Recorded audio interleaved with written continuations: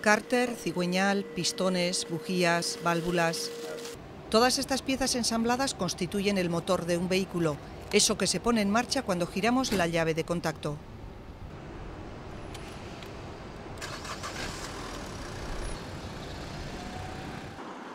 Pero para que todo esto funcione es necesario el combustible, el alimento que hará que el motor comience a rugir. Aunque en boca de todos esté el coche eléctrico, la alternativa a los combustibles fósiles podría pasar también por el motor de hidrógeno y en esa dirección está trabajando el taller de automoción de la Universidad Pública de Navarra. Están adaptando un motor de gasolina para que funcione también con hidrógeno. Las principales modificaciones en el motor de gasolina inicial se han realizado en el control y en los sistemas de alimentación y refrigeración. Los inyectores de ser inyectores eh, que inyectan un combustible líquido como gasolina a un inyector que, que inyecta un combustible gas y por lo tanto necesitamos inyectores de gas más voluminosos y que tienen pues, otro tipo de control ligeramente distinto. Es decir, el sistema de alimentación de combustible ha sido eh, las principales modificaciones y luego sobre todo el control. La combustión de la gasolina y la combustión del hidrógeno difieren sustancialmente y por lo tanto todos los parámetros electrónicos de tiempo de inyección, el cuándo inyectar, etcétera, esos han tenido que ser modificados, pero eso requiere una programación, digamos, tipo software en, en la unidad de control. Los ingenieros que trabajan en el proyecto ya han realizado las pruebas en la celda de ensayos del laboratorio de motores, con resultados positivos, aunque la potencia se reduce ligeramente en comparación con un motor de gasolina. El motor experimental, perteneciente a un Volkswagen Polo, llegó a registrar 5.000 revoluciones por minuto y una potencia suficiente para alcanzar los 140 km por hora. Se trata de un paso importante, ya que el hidrógeno es un combustible inagotable, fácilmente extraíble del agua y que en su combustión no produce emisiones contaminantes ni de efecto invernadero. Al tratarse de un gas, el hidrógeno estará contenido en bombonas. De la misma manera que tradicionalmente, antiguamente, eh, se cambiaba la botella de butano en las casas, aquí cambiaremos la botella de hidrógeno. ¿eh? Es decir, no recargaremos, sino que cambiaremos la botella o la bombona, como queramos llamarlo, de, combustible. Cuando esté vacía la quitamos y metemos una nueva. En el prototipo se utilizarán tres botellas de acero con una capacidad de 18 litros y que permiten una autonomía de unos 140 kilómetros, siempre en función de la conducción. El modelo en el que se está trabajando es un modelo híbrido, por lo que el motor contaría con el doble de piezas. Por un lado, las destinadas a la gasolina y por otro, las correspondientes al hidrógeno. De este modo, el conductor podrá elegir en cualquier momento y sobre la marcha el tipo de combustible que va a quemar. Para finales de año el proyecto estará terminado. Sin embargo, aún habrá que esperar varios años para ver las primeras unidades de este tipo de vehículos en las carreteras. Serán vehículos no contaminantes desde el punto de vista de la combustión, pero continuarán generando contaminación acústica.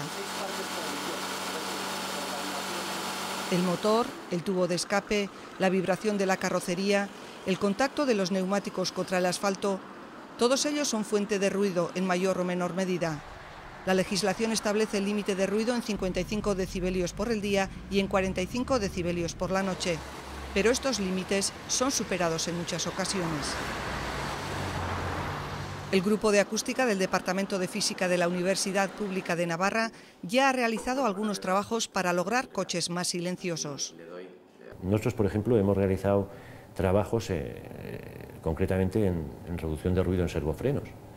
Y la verdad es que con medidas muy sencillas se puede reducir notablemente el ruido del, servofreno.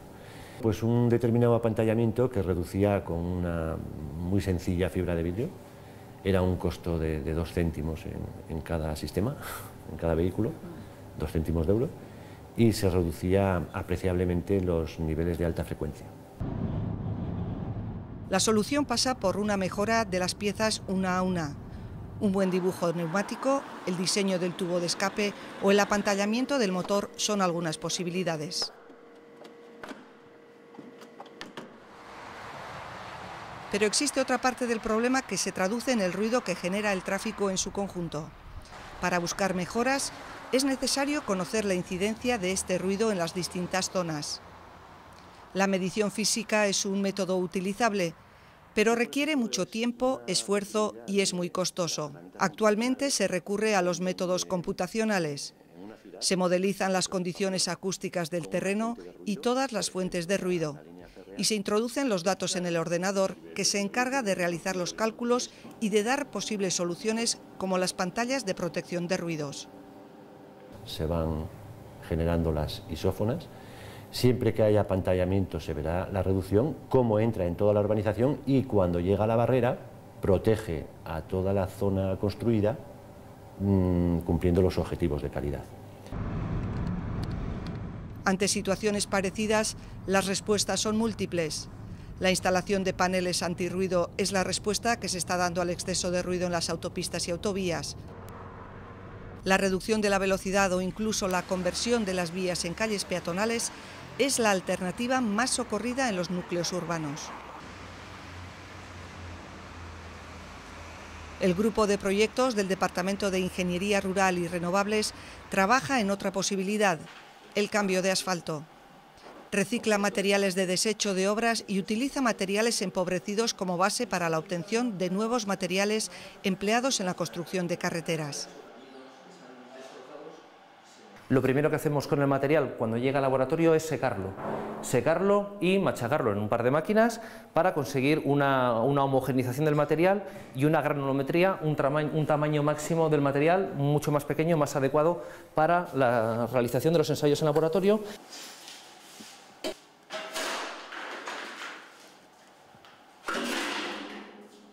El proceso de fabricación es preciso. A una cantidad concreta de material se le añaden aditivos estrictamente pesados. Puede tratarse de aditivos convencionales, como la cal o el cemento, o aditivos alternativos, como residuos de una combustión de plantas térmicas u otro tipo de residuos industriales. Para homogeneizar la mezcla, se añade un poco de agua y se compacta la masa.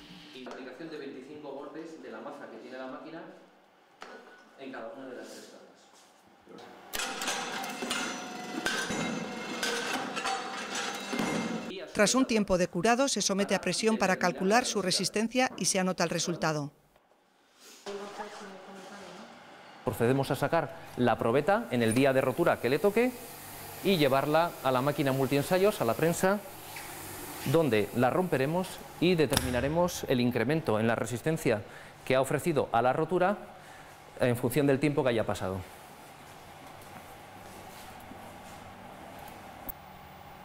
Se puede ver cómo se abomba y llega un momento en que ya la probeta ya no ofrece más resistencia. Las pruebas se realizan con distintas mezclas y distintos tiempos de curado hasta hallar el más eficaz. El resultante se puede utilizar en la construcción de nuevas infraestructuras y en la recuperación de carreteras y caminos que se encuentren muy deteriorados.